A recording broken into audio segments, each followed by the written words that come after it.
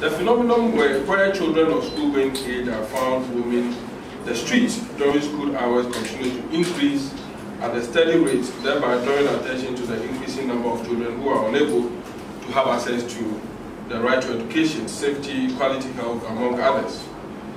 It is quite alarming to watch these children around these uh, uh, areas. The issue relating to the social protection issue, you see, it's, it's a commitment that is made, and those commitments are they are, they are, they are unconditional.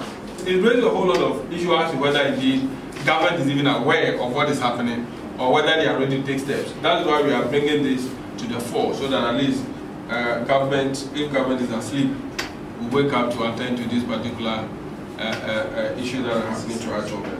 So the Foreign Affairs Ministry must also come in. Interior must also be part of it.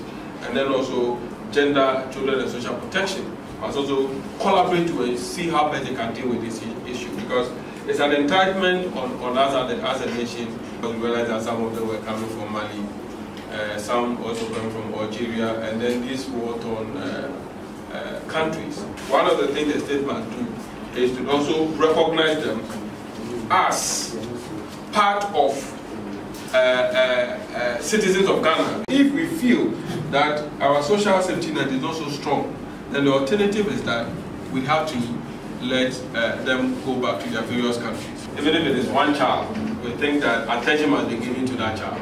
It's, it's a right. A right of children is not up to them to decide whether they want to enjoy it or not. It's, it's something that must be given. Once the law provides that they have a right to education, that is what we have to give them. It's about what they deserve.